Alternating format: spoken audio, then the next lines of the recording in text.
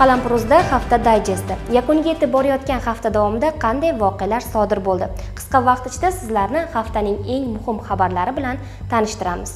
Bundan keyin o'zbekistonda magistraturada o'qiyotgan barcha qizlarning kontrakt pullarini to'liq byudjetdan qoplab berish uchun har yili 200 milliard so'm mablag' yo'naltiriladi.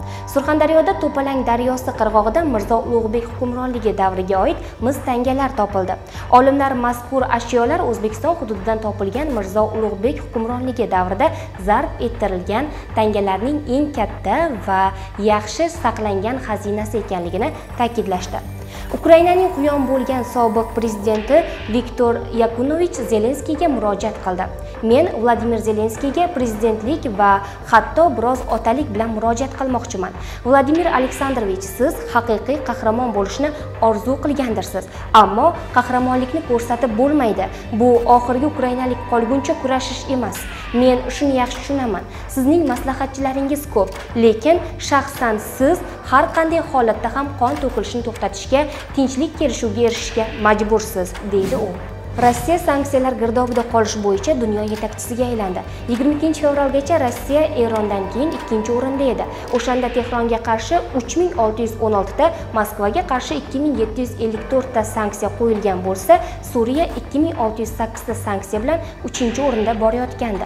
Ammo fevral oyidan beri moskvaga qarshi 2778 ta yangi sanksiya joriy etildi va bu cheklovlar umumiy soni 5532 tagacha yetdi.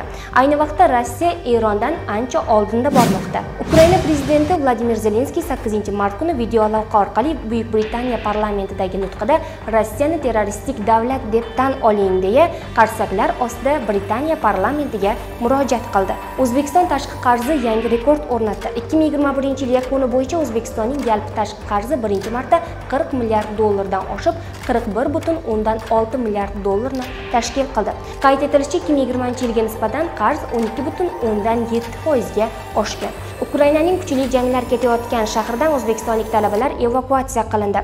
Harbiy harakatlar kuchayayotgan hududlardan 5634 nafar o'zbekistonlik vataniga qaytarilgan. Rus harbiylari mariupolda raddomga artilleriyadan zarba berdi. Hujum joriy yilning 9 mart kuni sodir bo'lgan.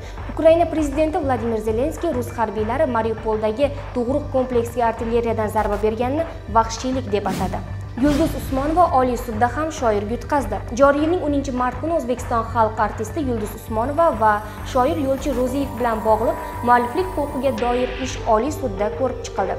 Ish shoir ro'ziyev foydasiga hal etilib yulduz usmonovaning shikoyati qanoatlantirilmadi. Tergov bo'linmasi boshlig'i o'qatar qurolni yig'a olmaydi. Joriy yilning 10 mart kuni ijtimoiy tarmoqlarda o'zini nurafshon shahar ichki ishlar bo'limi huzuridagi tergov bo'linmasi boshlig'i mirali abdurahmonov deb tanishtirgan xodim qismlarga ajratilgan AK-74 o'qotar qurolni yig'a olmagani aks etgan video tarqaldi.